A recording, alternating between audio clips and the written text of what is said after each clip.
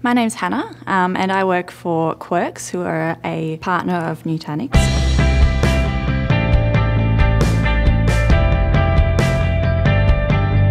So, my Nutanix certification has helped my career in the way that it provides confidence for both myself and for our customers, and also for Quirks. Um, when we put forward a solution to a company, having those certifications to back up our claims of being actually knowledgeable around the subject is very, very, very valuable.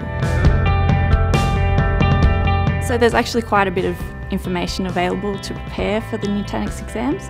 So I've sat the course online, which was really helpful. I did the boot camp um, at the very beginning, and I've also had a lot of hands-on experience with the product itself. So the advice I would give to anybody who's looking to get a certification is just do it. It's not always as hard as you might think, but if you sit down and just dedicate a couple of hours a day to reading about things, watching videos, uh, then when it comes time to sit the actual exam, it's not as daunting as it may seem.